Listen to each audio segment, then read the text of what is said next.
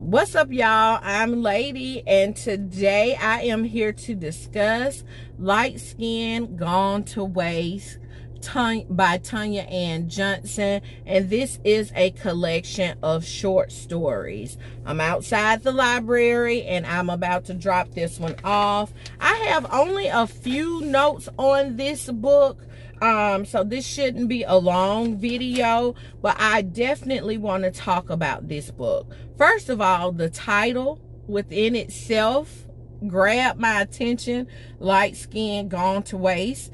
And when the title shows up in the one of the stories um i was like i knew I knew the type of character that would say this sentence. Okay, and that's all I'll say about that. Um, if you've been around my channel for any length of time, you know that I usually stay away from short story collections. But this one was different because all 10 of these stories follow the same family and they're all connected. So the author um, categorizes this book as autobiographical fiction. So I think that she did an excellent job with, you know, partially telling her story, I guess. Um, I read this book over the course of three days. I had the physical book, and y'all know I love, if it's available, the audio book. Let me tell y'all, the audio book was read by the author, Miss Toni Ann Johnson, and it was phenomenal. It was phenomenal. She was excellent with bringing out the emotions and sounding, you know, when she was reading those hard parts of this story. So I highly recommend the audio book if you don't have time to sit down with the physical book. Um, like I said, this is a collection of 10 short stories. And overall, I think that I rate this one five stars. I, I think I did. I think I Let did. read to you all what it says on the back. I can't, I'll have to refer to my notes since there is a sticker on here. But it says, in 1962, Philip Arrington, a psychologist with a PhD, arrives in the small, mostly blue-collar town of Monroe, New York, to rent a house for himself and his new wife. They're black, something the man about to show him the house doesn't know. With that, we're introduced to the Arringtons Phil, Velma, his daughter Livia from a previous marriage, and his youngest daughter Maddie, soon to be born. They're cosmopolitan, sophisticated. They're also troubled, arrogant, and throughout the linked stories falling apart. And that is the perfect synopsis of this short story collection, okay? I was so pissed a lot of times when reading this story.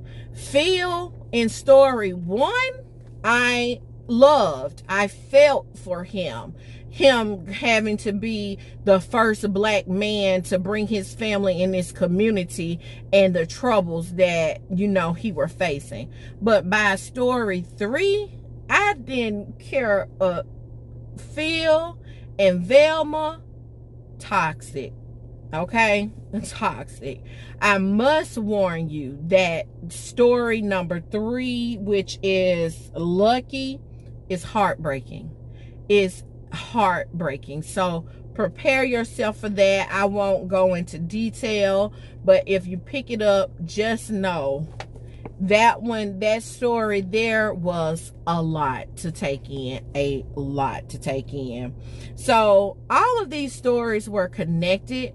It's hard for me to pick out, you know, which one I enjoyed the most. But the main themes in this short story collection is about um, family dynamics, colorism, racism, and classism. Um, Maddie, she grows up in an environment where 99% of the time, she is the only child of color. She's light skinned.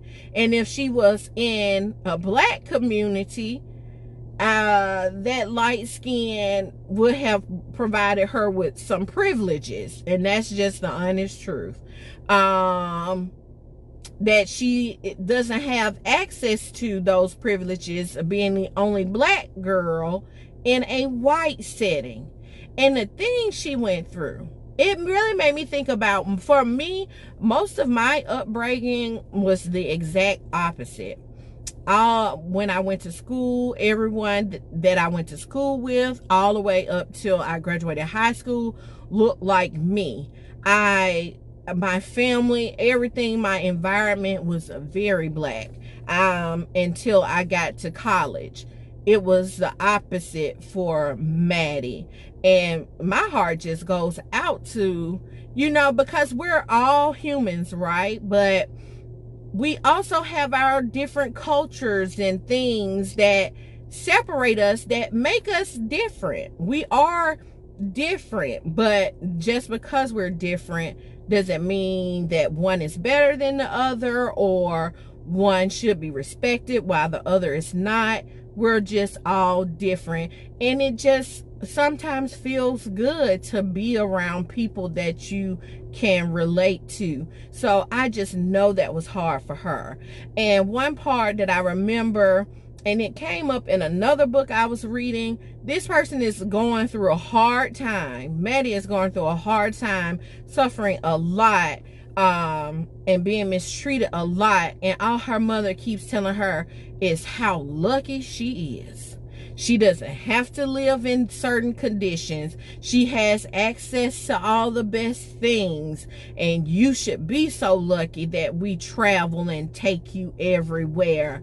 Oh, my goodness that bothered me so in this story and so I, I I just you know you just never know what someone is going through you know and so for you to look at someone and just think they're lucky because of certain things you you know that's you just shouldn't do that and another part with Phil and um his mother. This isn't a spoiler, um, but I felt sorry for Phil and I almost kind of empathized with him a little bit, but some of his decisions just upset me so, so bad to where I didn't care.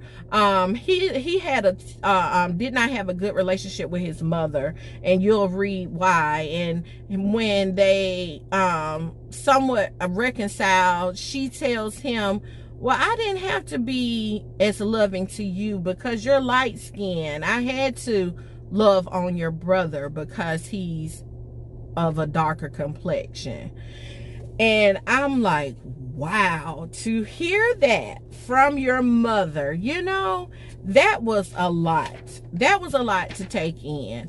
Um, but again, I, I still Phil is one of those characters that I that I'll go down in history of my reading as one of the characters that I most disliked. So that is it for light skin gone to waste. I do recommend this collection. This was, it was really good, y'all. It was really good. You will not regret picking this one up. Um, I haven't finished the book since reading that one.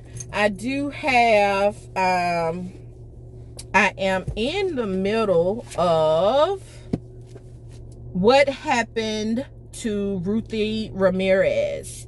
So likely my next video will be a book talk about this one. But that is it for me in this video. I hope you all enjoyed it.